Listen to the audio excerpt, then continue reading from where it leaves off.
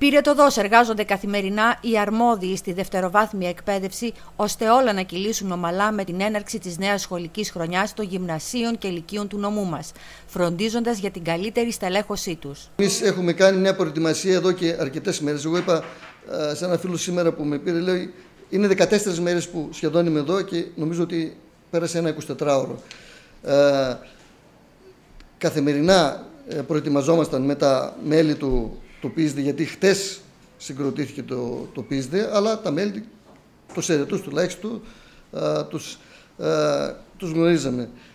Κάναμε απίστευτη δουλειά, πολλές ώρες, να ξέρετε, και α, έστω προσωρινά, γιατί θα κάνουν προσωρινές τοποθετήσεις, από Δευτέρα δηλαδή θα ξέρουν όλοι οι συνάδελφοι σε ποιο σχολείο θα είναι. Φροντίσαμε τα λύκεια να είναι αυτά που να στελεχωθούν όσο γίνεται καλύτερα, σχεδόν στο, ε, σε τέλεια μορφή σε ό,τι αφορά το προσωπικό.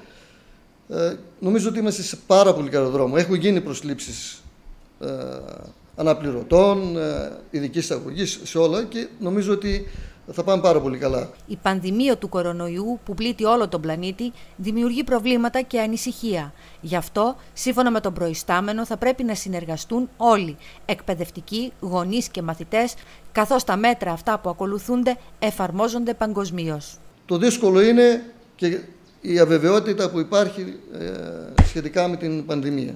Σε κάποια σχολεία υπάρχουν, σε κάποια όχι, ας μην γελιόμαστε τώρα, έτσι, έχει σχολεία που είναι πάρα πολύ μεγάλα και είναι δύσκολο. Εμείς δεν μπορούμε να, να ξέρουμε ακριβώς τι, τι πρέπει να γίνει. Ε, ό,τι μας πει το Υπουργείο Υγείας και το Υπουργείο Παιδείας. Εμείς εφαρμόζουμε τις εντολές τους ε, μέχρι κεραίας.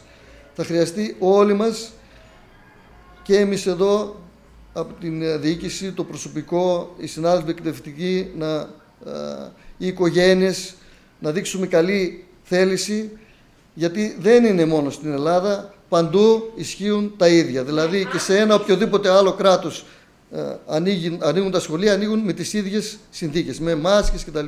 Ό,τι μας πούνε. Πρωτόγνωρες συνθήκες σε, για, σε πολλά πράγματα για όλους μας.